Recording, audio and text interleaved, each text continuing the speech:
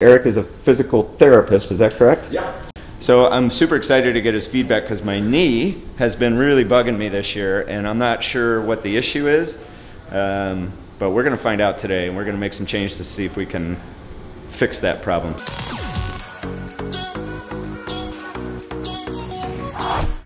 Hey, race fan Brian Davis races, and you can too. Today we're going to Titletown Sports Medicine in the shadow of Lambeau Field, where some of the highest paid, most talented athletes in the world get tested, and I am no exception. Eric reached out to me recently because I was complaining about some knee pain on my social media accounts, and he said, Hey, why don't you come on up? We'll do a bike fit and see if we can get this knee thing figured out. I said, Okay, that sounds great. So I went to go see Eric. We got on the bike, we experimented with some fits, but ultimately we really didn't change much on the bike because we figured the bike was not really the source of the problem. So we moved a few minor tweaks on the saddle, but that was about it. Otherwise, we did a number of assessments to figure out where my limitations are in terms of flexibility and uh, overcompensating strength, and we discovered that I have some issues. And these issues stem from the strength training program that I started last year. This is a, I did a whole video on this, but this is a snip of what I've been doing. A lot of knee heavy exercises, and then, of course, some push ups and core work as well. But the knee heavy exercises ramped up, and I think that's where this knee pain originated from when I got back into doing strength this uh, winter. Uh, it seems like it really flared up. And I can manage it with ibuprofen, so it's not the end of the world, but it's enough to make me a little bit concerned.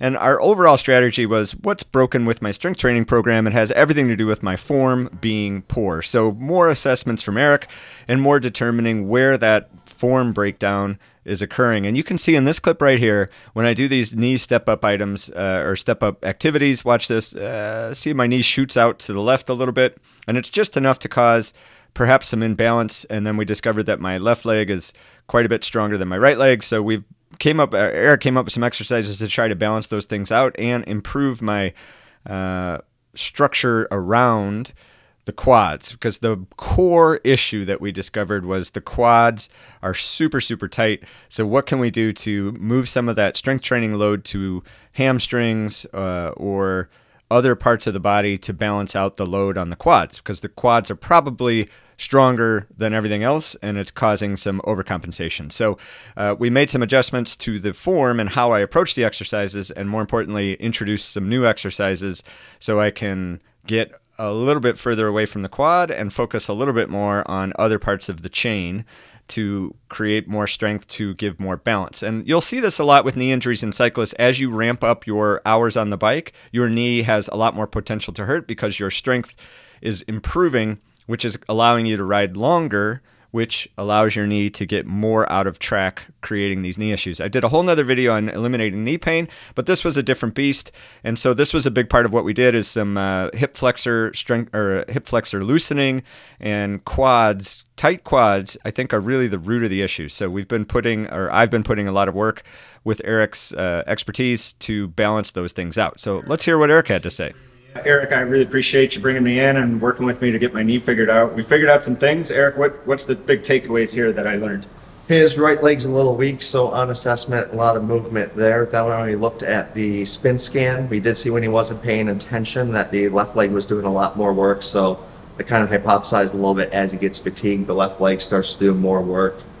Um, he's really tight in his quads and hips, and his saddle was all tilted forward. So wondering if he's falling forward a little bit.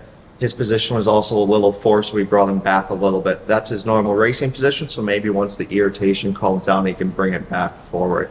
So then I just gave him some good homework, some good stretches, and various strength exercises to get different muscles going and kind of help get him back on track.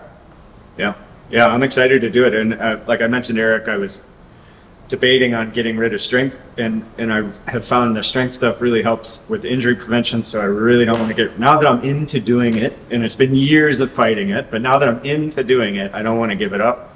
And uh, Eric found some really smart ways for me to work within that framework to do some things that don't irritate the knee but still build up the strength.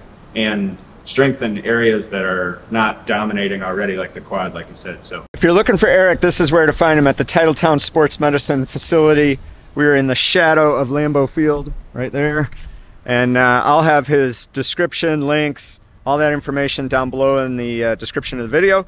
So check out Eric if you're looking for a top quality bike fit. And again, I think the big difference here is between a, a local shop doing a bike fit versus Eric doing a bike fit is that that expertise in physical therapy and how the body reacts to the fit goes a long way. And you can tell that because we didn't actually do a ton of work on the bike. It was mostly fixing the strength routine stuff that I was doing with poor form and hopefully that'll resolve the issue. So, all right, I'm excited.